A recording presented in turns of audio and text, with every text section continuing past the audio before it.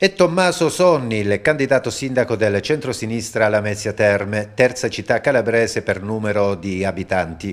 Sonni, medico, sostenuto dalla lista città reattiva, ha ottenuto 1534 consensi sui 3652 votanti complessivi delle primarie, superando così il candidato unico del PD Vincenzo Richichi che ne ha ottenuti 1323.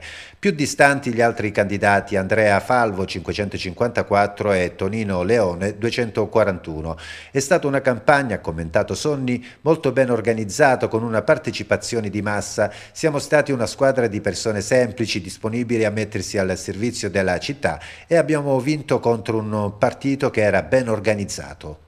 Tutto il comprensorio lametino deve gioire di questa vittoria inclusiva, cioè non è la vittoria di Lamezia, la mia non è la vittoria per Lamezia, è la vittoria per tutto il territorio del comprensorio lametino. Da questo momento dobbiamo rimetterci insieme con i sindaci del, degli altri comprensori, con tutto il centro-sinistra e con tutti i cittadini della Lamezia che ci hanno sostenuto in questa esperienza per cominciare a dare risultati finalmente visibili di novità alla città.